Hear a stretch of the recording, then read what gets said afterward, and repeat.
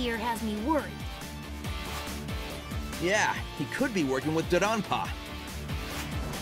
If the two of them even know each other, that is. Yeah, it's a mystery. I wonder if Shadow knows anything. He'd work with Eggman if it meant getting what he wanted. I think I'll have a little chat with him.